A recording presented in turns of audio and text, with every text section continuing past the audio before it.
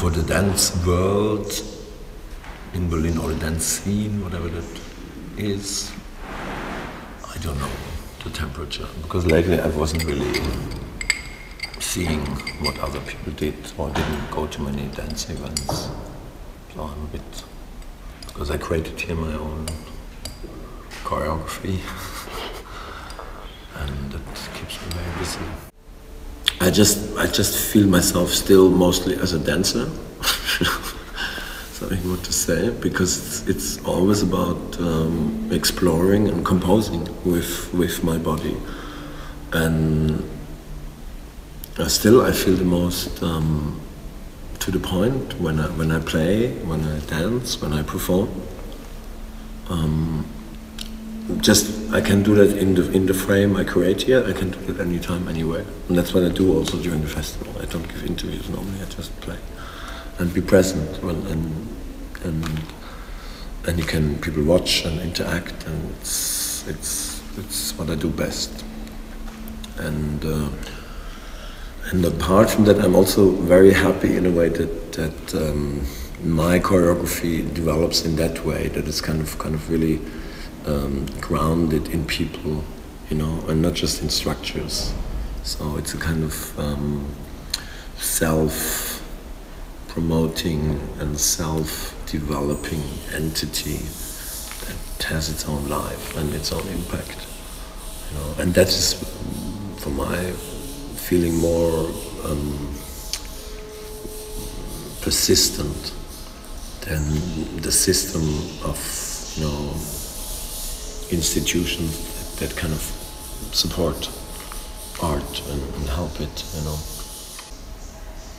Yeah, because the question is always like, what what is theater? You know, what was it good for? And for me, it's, it's of course theater proposes a different world. You know, it, it, it proposes a new perspective on things. You know, it's it's a, it's an artifact, but something that is also alive, so people can can really connect to it know, and and uh, these these kind of proposals kind of changed and also reality.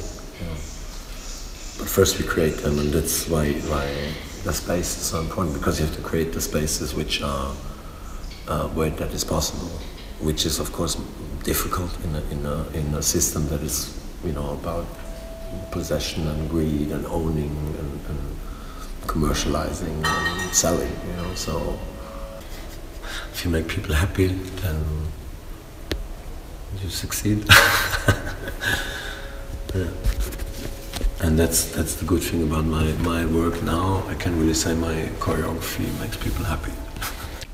How do you think you have influenced the, the scene in Berlin uh, throughout all these years, also with the Schwelle Sieben, because uh, yeah. you play a very particular role that other people. Definitely. I mean, I mean, I started, you know, like um, around 2000 I really started um, to, to analytically and, and, and theoretically and practically explore sexuality as a, you know, a part of human experience and also a part that is important for dance. And of course, that opened for me a very different world, and um, but it, it had right away a big impact you know. And also when, when I did uh, in, in the 90s and when I did choreography, I had this line of work which was, was um, very technical, you know. I worked for ballet companies and working with very complex systems of improvisation and, and um, but on a very high technical level. And these pieces were very abstract.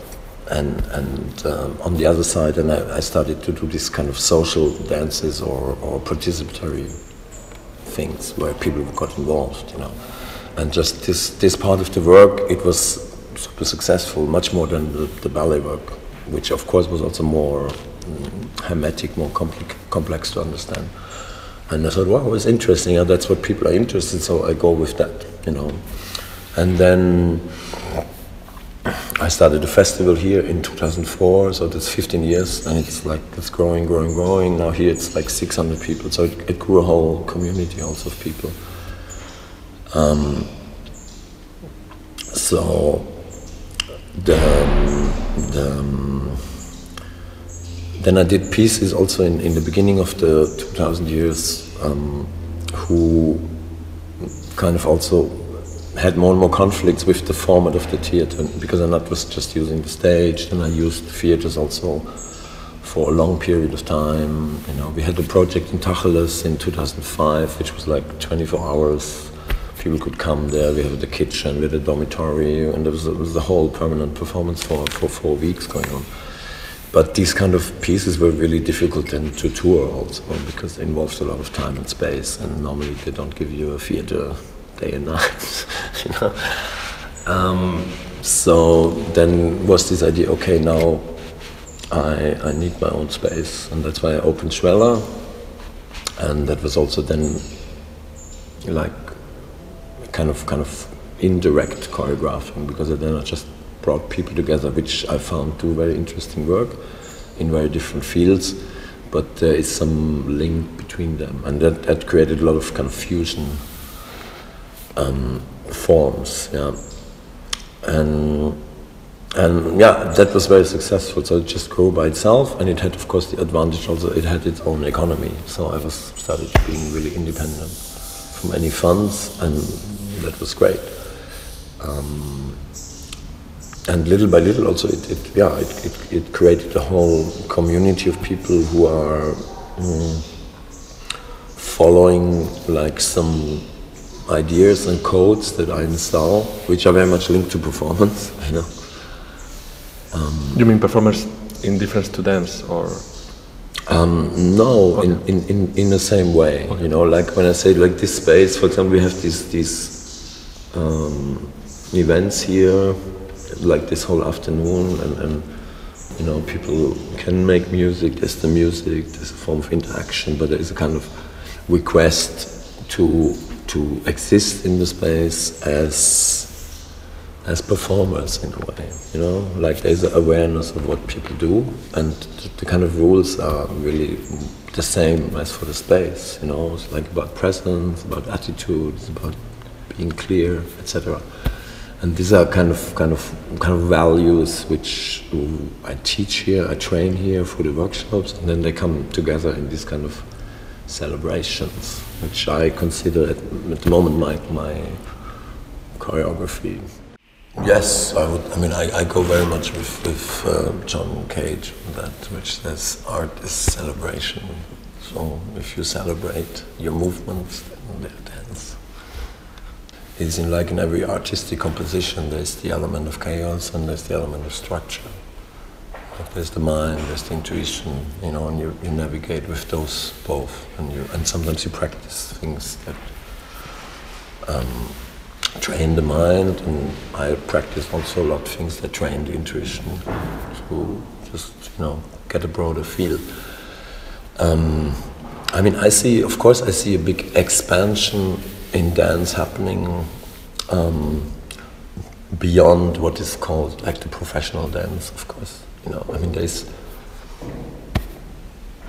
I mean, we have we have all these different scenes of dance, you know, where people just practice um, it as a social form, contact improvisation, tango, and I also consider this whole shibari, you know, rope bondage explosion as a part of that because it's a similar physical practice, artistic practice, and it has been exploding also in Berlin, and. Um, um, what's happening on in that in that still that format of the theater and the stage. Like I said, I'm not so much informed. I haven't seen much shows.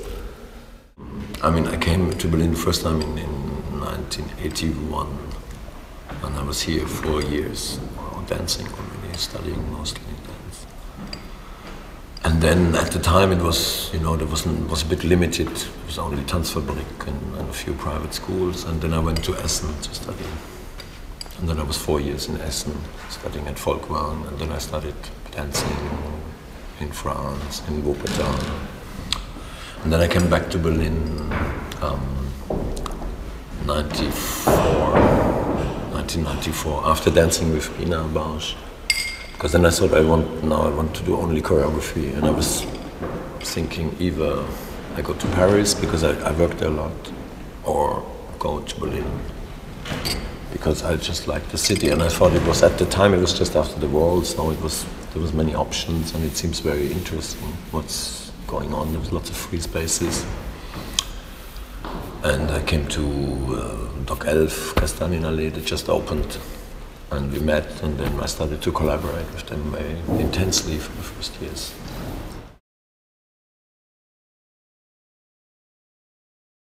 Sexuality is something everybody is concerned in a way.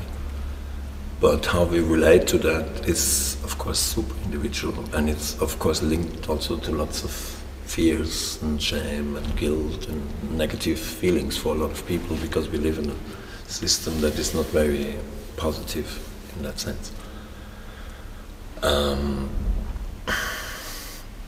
and of course, so people react very individually to that, you know. And that was like, when I started with that work, there was a split in the dance world. Always there were some people that were supporting it very strongly, and other who were very much contesting it, also from the media, from the press. So there was this controversy, which I thought is a good thing, because if there's controversy, then there's something going on. Um, yes, but um, because now it when didn't help me in terms of career or something. I would say, you know. true. And there's also like like things we had in 2006. Um, this, this these reels they're from Messiah Game actually, which was a piece in 2006 and uh, which was also very controversial and it got invited to Biennale and then there was like a kind of kind of right wing political movement who tried to mm, give make problems to the director of the Biennale because he was from Ling, you know, Vene- Venezia is the left-wing Sindaco, so but Lega Nord is is in, in, in that part of Veneto they're very strong. So they kind of made a big scandal about that piece, which was just an innocent dance piece, you know, I think.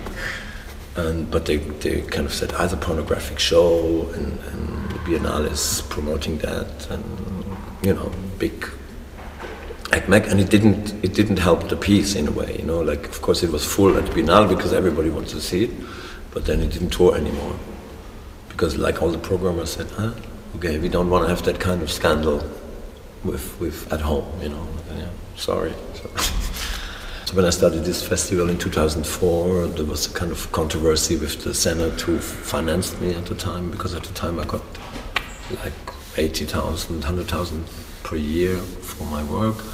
And there was this one year I had like 10,000 left, and I said, okay, I put it in that, I make this festival. Because in that year I had also wrote my concept for the for the subsidies, and it was about exploring sexuality and studying different techniques. And it passed, so they gave me the money, and then I said, okay, I can also do a festival like this, where I just invited people from these body practices to see what I can learn, and the festival was successful. But then again, that was the time there was um, Flierl was uh, was the senator for culture, Thomas Flierl, who comes from the east, uh, you know, like Eastern dynasty of culture, and then again there was a kind of um, some um, deputies from the CDU, they made a little request, yeah, why this left senate is financing pornographic events like that, and the kids have no books in the schools and stuff like that. It created also a big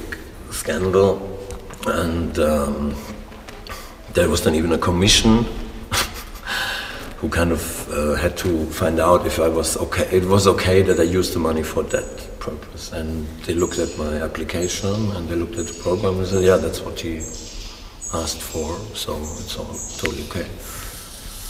Um, and then they called me to come to the Kultur uh, Amt and told me, okay, so the commission said it's okay, you don't have to give the money back, but please don't do it again. And I said, mm.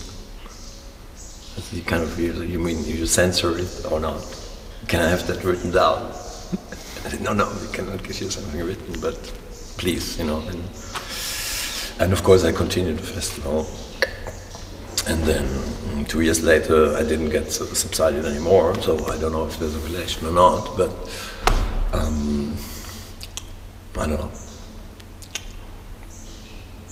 Anyway, it was also good in that sense because then I said, okay, now I do my own space, and the good thing now is that I'm, you know, I'm also not afraid of losing anything because I can, I'm a bit in control of my own finances. So let's say that the, this autonomy that now you you have, uh, it was also a result of sac- sacrificing a little bit this professional career or this uh, career as a. Well, it's, a, it's a, yeah, in a way, you know. Um, um,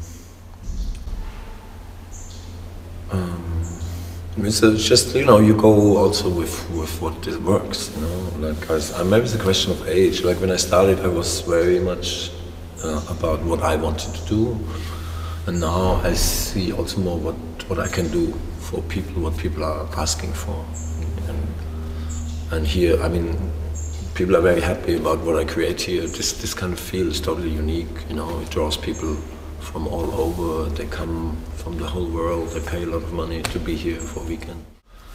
And now we are in a state that, that the, the body as, as a tool for working is losing its function more and more. It's not anymore in production, but your mind is more what is producing and, and your creativity. And then obviously the body becomes more and more an instrument of communication, you know, and, and um, expansion. And that's why people are more interested also in all these, these body practices now. That's why so many people do yoga now or, do, or, or even people that, you know, go to the gym, you know, they, they kind of train their body to become an instrument of, of, of self-expression. And of course, you can judge that and say, okay, yoga is better than pumping iron, but that's not the point. The point is like, you know, the body has a different function, and I see myself a lot in that in that direction, and, and with this special focus on, on the sexual body, because first of all, it's uh, very exciting, you know, it's a lot of fun, and it's very emotional. It's and it's very theatrical you know, because it's it's um, the sex connects you to your real inner construction, you know, what what you learned as a child emotionally and, and where you are and, and and that's so influential on who you are and what you do and how you express yourself. And so working with that is is very transformative. And in that sense it's it's art, it's it's you know um, it's my way of choreographing now. And also, it's a, it's a way of understanding political practice as well, no? Like, uh, Yeah, because I, it, it really changes people also what they experience. You know, it changes their, their, habits, it changes their relationship. and uh, have you been invited also to teach in, in the in the school here of Berlin, the HZT, uh, or or why not? I mean, I don't. I why these kind of practices are not included in education? Do you think? Uh, I mean, a lot of art, I think, is also related to sublimation of, of the sexual impulse. Know? Like, um, so there is a kind of kind of um, love-hate relationship that people have with their body or with their sexual body, and that can produce also amazing art. You know? um, And this is but there's still, there's, I mean, there's still fear. You know, people always say, "Ah, this is so open nowadays," and it's not true because it's it's not open on an emotional level. And the bad thing is that the whole, um, um, you know, work and exploration and, and practice of sexuality is left totally to the commercial sector. You know, of course, you have the, the bordels, and you have a whole sex industry. You have a huge porn industry. You know, this is you know, it's the biggest. The biggest. The whole internet works with the porn industry. You know, everybody knows that. And um, and I mean, then you have all sorts of levels on that. How how you know people make money with sexuality. But from from the state, there's no real research. You know, there's not a ministry for sexuality, which should be in my thing, because it's such an influential force. You know, and and in, I think in a civilized society, um, it should be really a theme. And the thing is, mostly are people very are very supportive.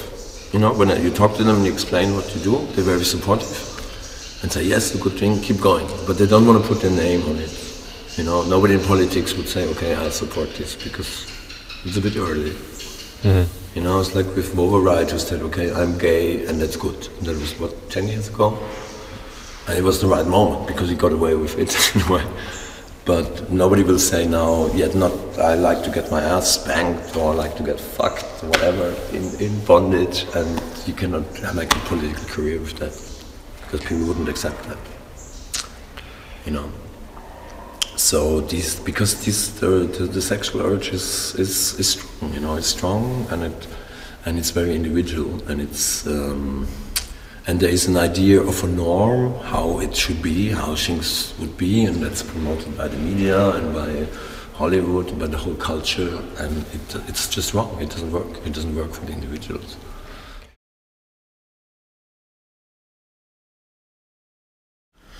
Like in that sense, I, I see myself a bit as a gardener.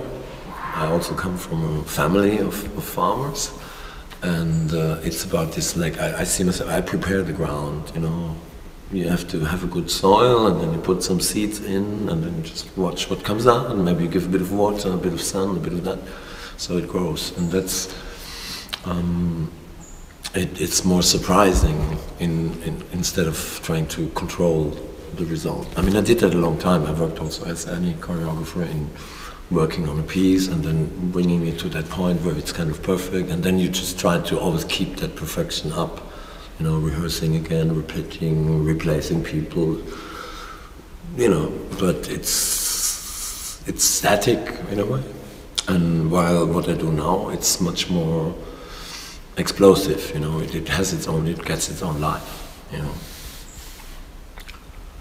and the festival is a very good example for that because at the beginning I was was only three spaces and I had the control of it. But then it got bigger, so we had to open more spaces, and then I had to give away. So there's this the whole back area which we were. That's like two people. They totally decide. I mean, they have more or less a frame what should happen there, but they decide about the decor, the music, everything. You know, to just create that space, and it has a special atmosphere. And this space is still me creating it, has other atmosphere, and so are the other spaces. So it's just growing in that sense, and I just keep the overview that you know keeps that quality of, of permission and, and, and, freedom.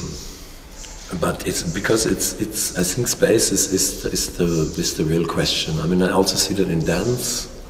Like when I have a view maybe on the dance world, I, in the last 15 years, I could really see the people that, that kind of could manage to grab a space and hold it, you know, and put a lot of work on that.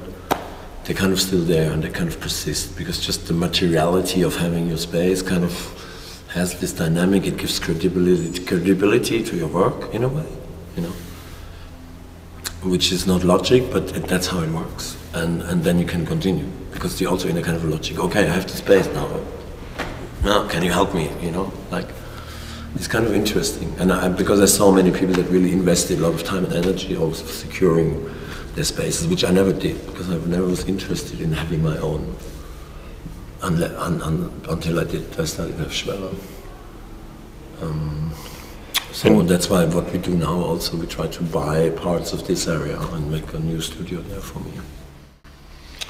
Do, do you now in this moment of your life uh, do you do you care about your reputation as an artist? No, I have I have a very good reputation. I like my reputation, you know, because it's still very uh, it's still um, controversial, and I think also what I what I started here it, it has a lot of impact. I mean, I can see from the last ten years how much it influenced uh, people, and that will just go on. So, you know, and other people pick up these ideas and, and go further with that. You know. Uh, do you also feel sometimes supported by local theaters or local venues here in the city? No. No, it's just, um, for example, at the, at the, for a time before we went here, um, we needed a bigger space for the festival and I asked also Radialsystem, for example, which I thought would be the perfect location because in the city they have these big studios, you know, but no, because people are afraid to connect their work to anything sexual or pervert because then they think it will uh, discredit them. And just that is already a very strange idea, you know, because like, I mean, of course sex is difficult for a lot of people, but it's not illegal, you know, do you do you believe in such a thing as changing the world? I think the world is changing by itself. You know, we don't know where it goes, but um, I don't know. I mean, that's a, I'm, I'm quite optimistic because I think human mankind wants to survive, and so they, they evolve. You know, go slow.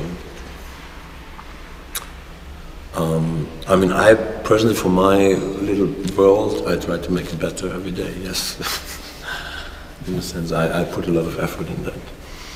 You know, and um, of course, if that exists, if this still, because also this festival is a bit in danger, because also they want to sell parts of this, and, and so we see if we can keep it here. And so it's in danger, but this festival definitely is is is an improvement for the world. like many people will confirm. Yeah, and we also this year we make the first time we make a big documentary also about the festival because before it was always very closed in that sense also because to create this kind of safe space for people um, to explore. And this year we said, okay, we will film workshops, we will film all activities, and people will be always informed. And it's surprising how open the people are, you know. I mean, my first influence definitely was uh, Jimi Hendrix. When I was 11 years old, I bought my first record. It was my first record I bought from my own money. I was 11 years old. And I bought uh, Jimi Hendrix, which came just out, which I, I can't remember why I bought it. I just remembered it. It was just a very intuitive choice. I just had that, I heard that sound somewhere on the radio, something, I want to have that artist in my, and then I had to. and, um, and it's a it's it's a, good example for like you know someone because it's he had this really very embodied music you know which totally also making a revolution and lots of pain there also and, and rage and, and, something I could connect at that early age already. And uh, of course, then other people were very influential. I mean, Pina Bausch was inf influential because that was the first time I saw, when I started dancing, I did ballet and contemporary and jazz. I mean, there was not so much at that time, you know, like in contemporary dance. There was just like, you know, Dieter, they studied with contact improvisation at Tanzfabrik like 79, 80, and then and then I came to Essen to study, and then I saw this work of Pina Bausch, and, and there was a theater that mean, talked to me in a way, you know, like because it was so free in the expression, and suddenly you could peel tomatoes on stage and talk, and not just like like movements, you know. So there was a big expansion, of course, and of course it, it influenced a lot of people, and and that also brought me then into the social in, in a way, working more with amateurs and stuff, and trying like formats for, for where everybody can participate. And, and also Pina did actually was in the beginning in the first year she did some pieces also where she put amateurs on stage and stuff. And actually she did that again and then with the when they made these remakes of um, Kontakthof with the teenagers and with the old people, which was a bit like she went back a bit to these roots also, you know, said, okay, and, and Kontakthof is, for example, a piece everybody can dance, it's super simple. So, I mean, that's an influence, definitely. I never liked her misery, her German uh, suffering, and, you know, art through hard work and suffering. I never could connect to that. I thought must be able, must be possible to make good work also and be happy.